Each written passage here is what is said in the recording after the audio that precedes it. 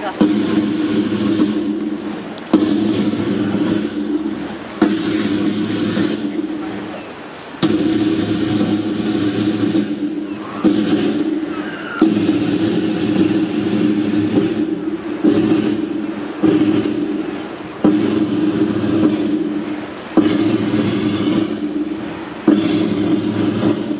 Wiązankę składa środowisko 27. Wołyńskiej Dywizji Armii Krajowej oraz Katolickie Stowarzyszenie Civitas Christiana.